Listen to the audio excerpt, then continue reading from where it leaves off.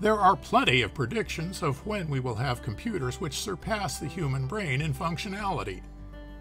In this face-off, I'll show why most of these estimates are totally off base because they overlook important facts about how biological neurons and computers actually work.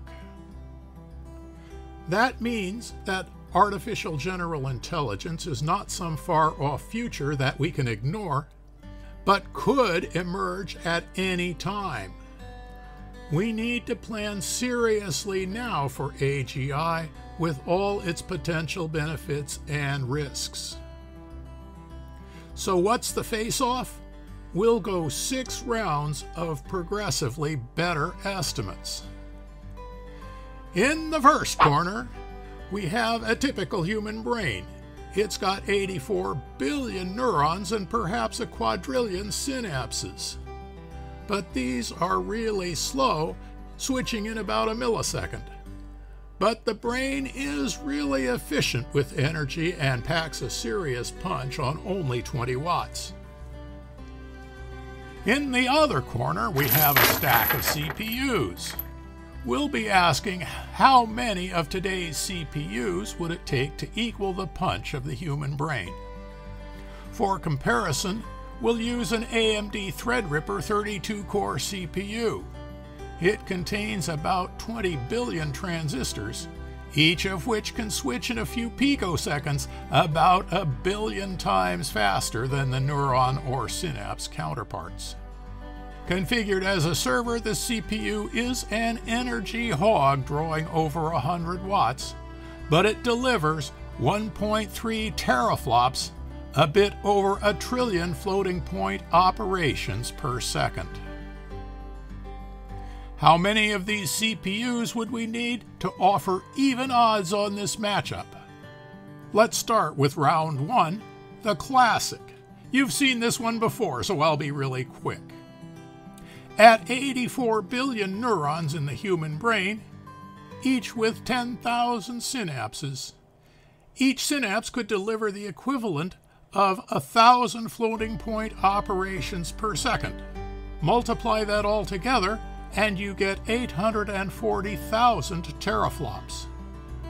To win this round, we'd need a stack of over half a million servers a tower over 30 miles tall. So let's move on to round two, which I call the classic two, which is slightly less wrong.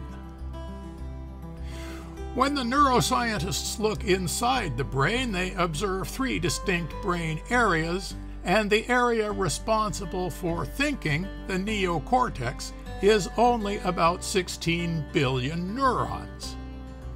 Neuroscientists also observe that neurons don't actually fire a thousand times per second, but that 200 would be closer to the mark. Repeating the calculation from round one, to win this round, now we need only 24,000 servers. Many, many people rely on these first two estimates to erroneously conclude that AGI is a problem of some far off future that we don't need to think about today. An important observation from the first two rounds is that the brain's computation requirement is independent of the synapse count because adding a synapse adds the corresponding tiny computational component. This is in contrast with a computer where the computational requirement goes up linearly with the number of synapses. For round three, the neuroscientists also tell us the 16 billion neurons of the neocortex don't fire very often. Theoretically, they could, but if they did, our brains would overheat and our heads would explode. To stay within the observed energy consumption, neurons can spike at a maximum rate of only once every six seconds or so, for a maximum of a total of 2.5 billion firings per second. By an interesting coincidence, I have benchmarked my neuron engine on our contender CPU as processing 2.5 billion synapses per second with 32 cores. I got this number by creating a network of 5 billion synapses, which could run complete cycles in less than 2 seconds. It took 30 seconds to allocate those 5 billion synapses, which is not relevant to this calculation but will be important in the next.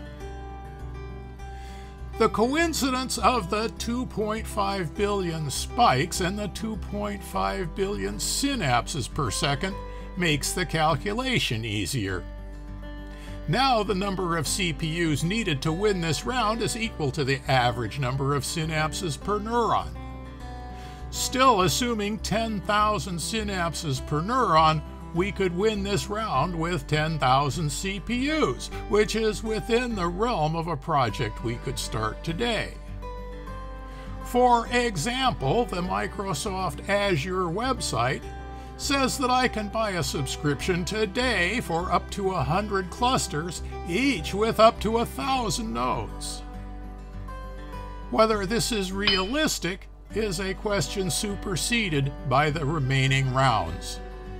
For round four and for the remaining rounds, we need to understand just a bit more about synapses in the brain and how, for some problems, computers can be radically more efficient. First, the similarities are that your brain and the neuron engine both have synapses defined as connecting two neurons with a weight.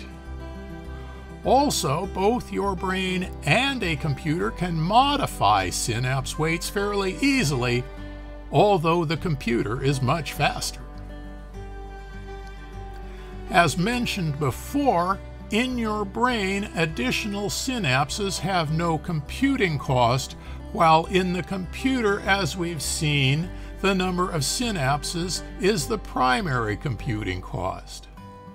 And what do we know about resources which are free? You use a lot of them. In this round, I'll show how most of the synapses in your brain are unnecessary to a computer emulation. While it's easy to modify a synapse weight, in your brain, new synapses cannot be created at anywhere near this speed. Your brain, with all its neurons and synapses, develops from birth and within the first few years of life. After that, neurons and synapses don't grow or move around much, and to the extent they do, it's a slow process. This means that if one neuron ever needs to connect to another, the synapse must already exist. Your brain can change its weight, but it can't quickly add a new one.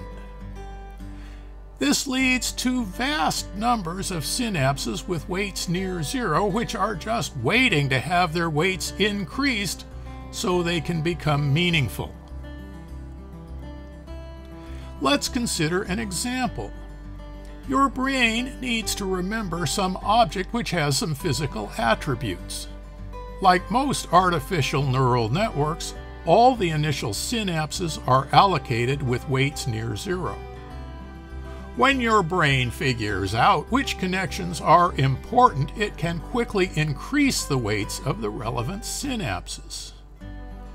For simplicity, imagine you can only see these five colors. Once the brain has decoded that you're looking at a green object, for example, it can strengthen the synapse to the neuron representing green. It needed to have the synapses to all the colors so it could strengthen just the one which was important. The computerized neuron engine does not share this limitation. When it figures out which synapses are needed, they can be added in just a few microseconds, only slightly slower than changing the weight. This means that the computer doesn't need to carry around all the zillions of near zero synapses. It just needs to store the ones with significant weights because it can allocate new synapses as needed. So, how many synapses per neuron are actually significant?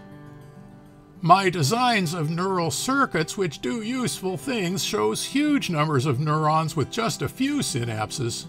But there are also a small percentage of neurons which do need a very large number of synapses. And so for this round, we'll use 20 as the number of significant synapses per neuron. This round means that with just 20 of today's CPUs networked together, I could do the useful processing of the human brain in real time. Now, you might wonder why I've used a 1 teraflop CPU as the benchmark when I could have used a GPU with over 100 teraflops. For the first three rounds, that could have been reasonable, but from here on out, features cannot be implemented efficiently on a GPU. Because of their architecture, GPUs are not efficient on the sparse arrays described here.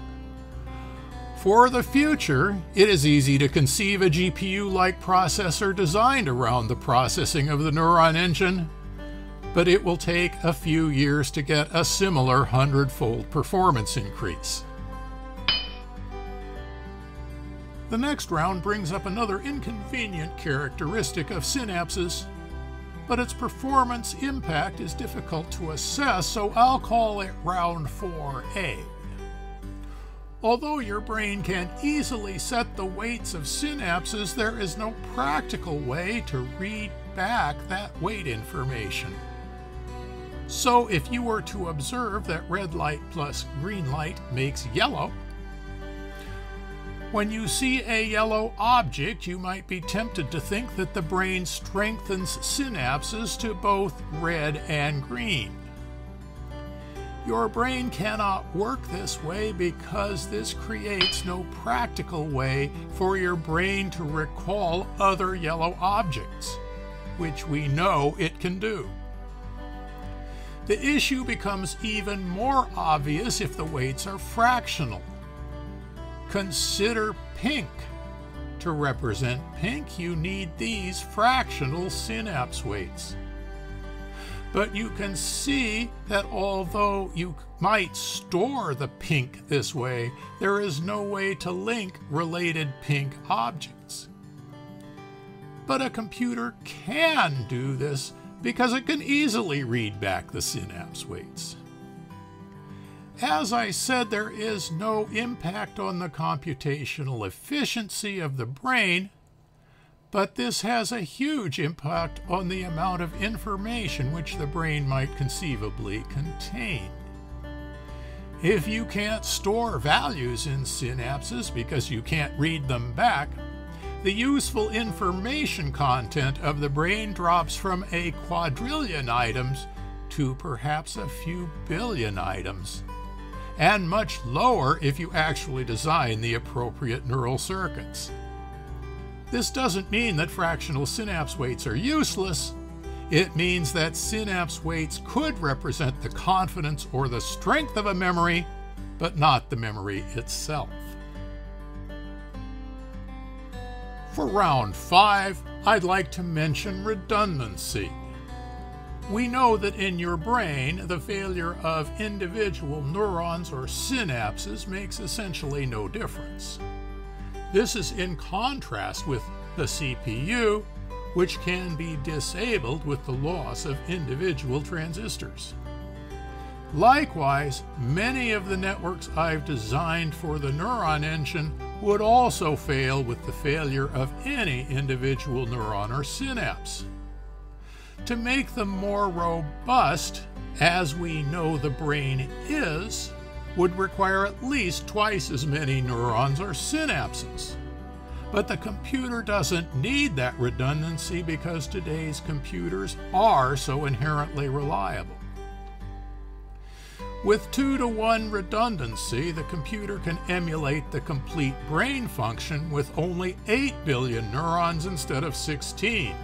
So for this round, we need only 10 CPUs. For round number six, finally, I'd like to wrap up with the impact of sequential data. Consider remembering a sequence of digits like a phone number.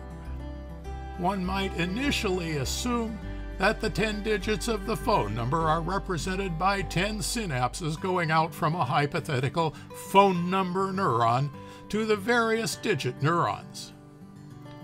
When the phone number neuron fires, you would like to get the digits of the number. 202 4561414. But in the brain, it can't work that way. The firing signal from a neuron arrives at all synapses at about the same time, so there is no way to store the order of the digits. 202 4561414. Handling repeated digits further complicates things. This means any step in any ordered data must be represented by at least one neuron, not just one synapse, and at least two neurons if the speed of recall is to be controlled as shown here. 202 4561414. The computer wins again because it can simply set a flag which indicates whether the various synapses of a neuron are to be processed in parallel like a biological neuron or sequentially as we'd like for this example. This means that it can store the digits of the phone number as just 10 synapses. What is the impact? For sequential information, each sequential step neuron in your brain, encumbered as it is with 10,000 synapses, can be replaced in the neuron engine with a single synapse. We can only estimate the portion of information in your brain which is sequential, but I must point out that it's not just phone numbers. When you remember words or phrases or songs, that's sequential. When you remember an image with objects in front or behind one another, that's sequential too. When you remember that something is above or below or to the right or the left, that's sequential. When you remember how to walk to your bedroom or drive to the grocery store, that's all sequential information too. If we were to estimate that half of your neocortex is used up storing sequential data, not only are we reducing the number of synapses per neuron, but our computer can reduce the number of useful neurons by another 50%. With this last round, the brain is now only the equivalent of five of today's CPUs. What does this all add up to? Any way you slice it, the potential for computers to emulate the capabilities of the human brain is either here already or will be in the very near future. We don't need acres of servers and millions of dollars.